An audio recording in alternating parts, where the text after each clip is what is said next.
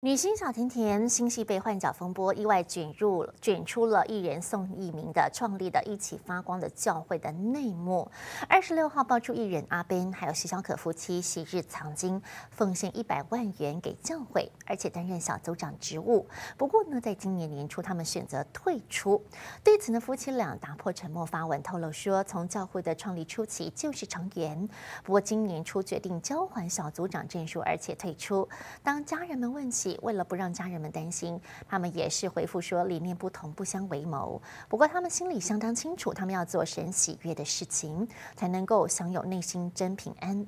夫妻俩认为呢，神的爱不分贫穷不分贵贱。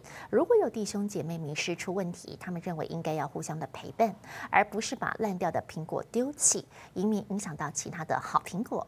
而至于被教友爆料在扩堂事件当中奉献了百万，阿边夫妇并没有承认，也没有。否认，只坦言说有真钱。过了几天，他们也付出了当时他们所要求的金额。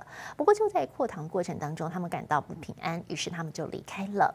当初的奉献是他们也没有要回来，因为他们相当清楚，他们奉献是给神，不是给。人好，这回小甜甜被宋一鸣换角的事情闹得沸沸扬扬，也扯出了很多教会的内幕。曾经在同一个教会的徐小可阿贝呢，在个这个事件爆发之后，证实现在已经离开。而事件延烧多日，宋一鸣疫情发光协会二十六号在脸书再度发出了声明，引用圣经来表达心声。出埃及记，这是呢耶和华必为你们来征战，你们只管静默，不要作声。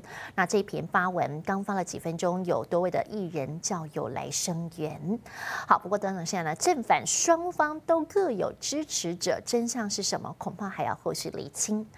大家来科普一下哦，这个水神呢，跟病毒细菌作用之后呢，会还原成水哦，不会感染，也不会影响到你的皮肤，所以小朋友、孕妇也适用。万万水神呢，不伤人体，适合长时间、多频率的使用。如果不够用的话呢，可以干脆把这个生成机买回家自己来使用。